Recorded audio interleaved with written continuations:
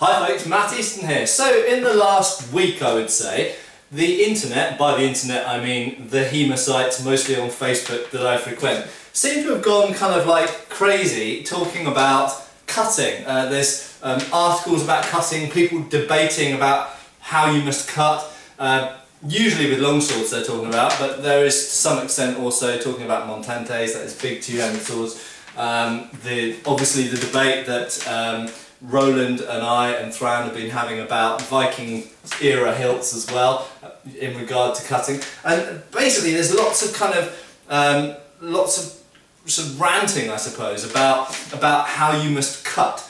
And uh, I guess the point of this video is to say there isn't only one way to cut. If there's one thing that I've tried to accentuate over the last couple of years in my videos, it is that there is a wide diversity, there's a wide variety in the ways that you cut and that you would want to cut in different contexts, my favourite word there, and also with different weapons. Just starting out, you know, looking at the, the weapon uh, question, as I've mentioned hundreds of times probably by now, Indian swords in particular enforce a certain style of drawing cut and we also know that this was used in Turkey and uh, Persia and certain other areas of, of the Middle East, North Africa and Asia.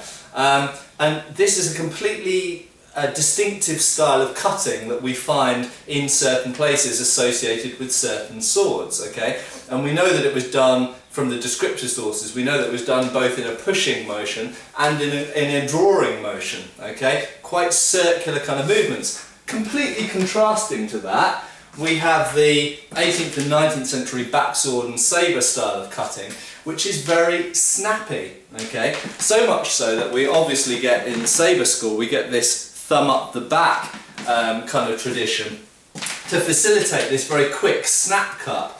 And it, it's a completely different way of cutting to how you cut with a tool So how do you say, you know, if we just deal with just those two swords and just those two, two traditions for a minute, how can anybody possibly say that one is right and one is wrong? There is no right and wrong. There's just simply one style and one tradition and culture used a certain type of sword one way and a different culture used a different type of sword a different way. Okay? They both produce wounds of differing types um, that have different strengths and weaknesses. As I've talked about before, the, the strength of the snap cut is not in its huge power, but it's very quick. Uh, it's very quick to redirect to other places, and it's got a lot of reach. Um, what the um, draw cut has is it creates very long sweeping wounds on the target and is famed for its cutting power uh, and wounding power, but what it doesn't have is range, is reach. However, if, and here's a strange combination you won't see very often, a Viking shield with a tulwar, but if we're using a shield and a sword, then actually the shield enables you to come in close, by which point pushing and drawing cutting becomes much more practical. The sabre used with the snap cut is not used with a buckler or a shield, so you need all the distance you can get. So it's all about context again. There is no right and wrong way to cut universally. There's only good ways to cut or effective ways to cut in a given context, in a given scenario with, you know, with certain, with shields involved or with not shields involved or whether there's certain types of armour, maybe padded armour or maybe none, no armour at all.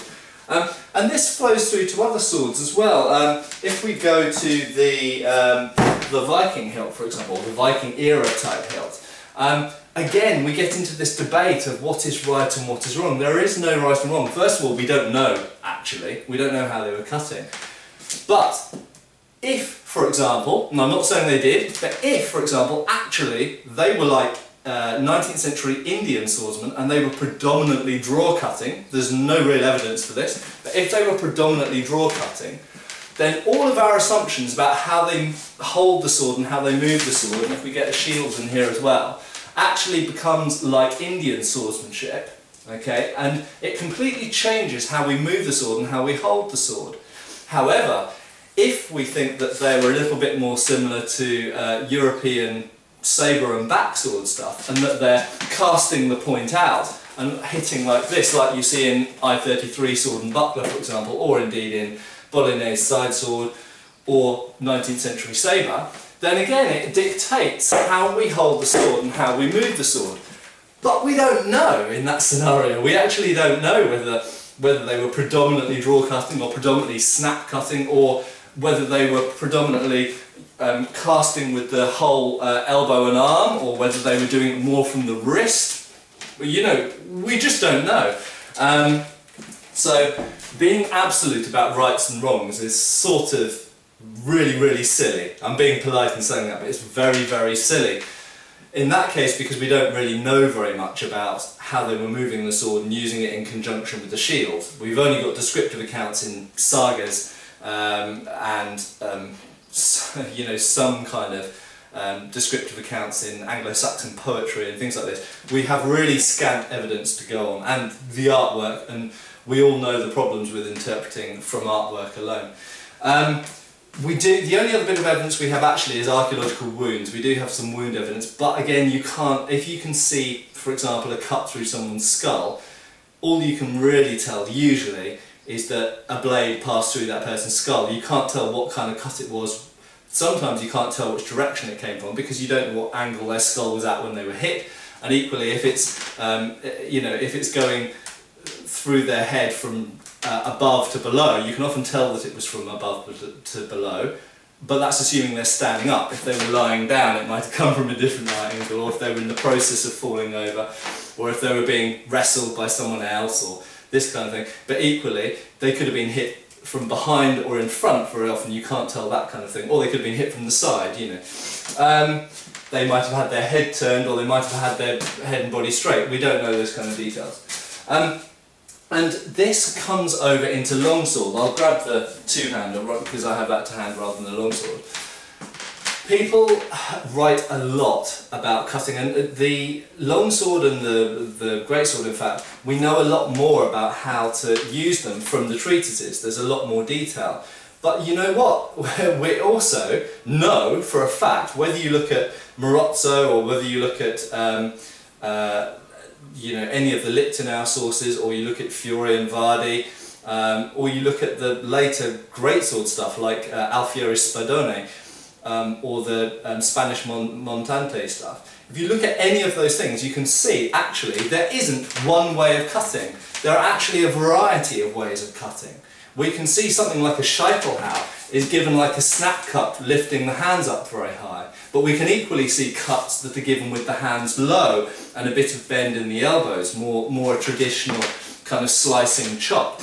Um, equally, we can see things like schnitt, which are given with contact first and then a drawing cut or a, or a push cut in, if you look at Codex Wallerstein for example, you can see where the blade is laid on and then slid forwards on the person's arms. Um, we know that there are of course cuts with the back edge that come like a chop. We know that there are cuts with the back edge that come like a slice.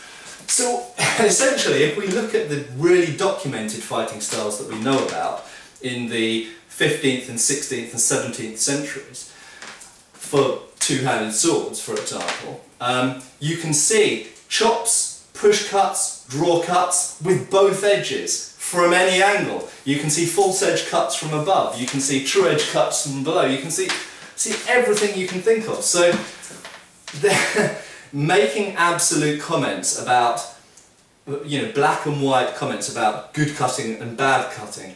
A lot of the time I read it and I think, what, like, why are you guys just focusing on one type of cut and ignoring everything else.